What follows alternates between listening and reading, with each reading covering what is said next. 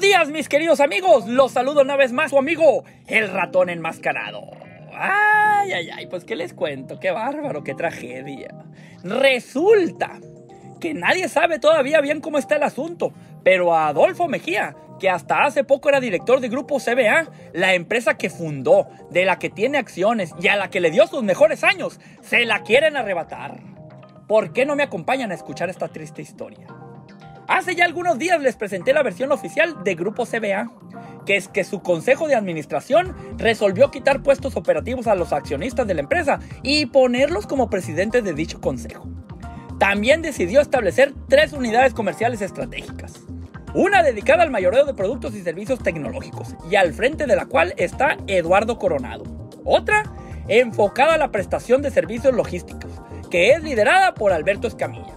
La tercera, es responsable de las marcas propias de la empresa como Guía, Mirati, Ocelot y Cuaroni, la cual es dirigida por Armando Gallo. Y ya que lo arme, que lo role. Pero como toda triste historia de amor, esta también tiene dos caras. Y me refiero a la historia.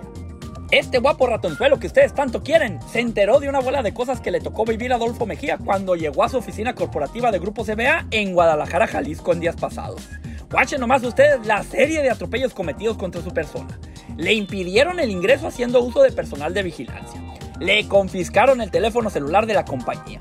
Fue informado de la restricción judicial para participar durante 60 días de las juntas del Consejo de Administración, de las que se anunció que ahora él es el presidente.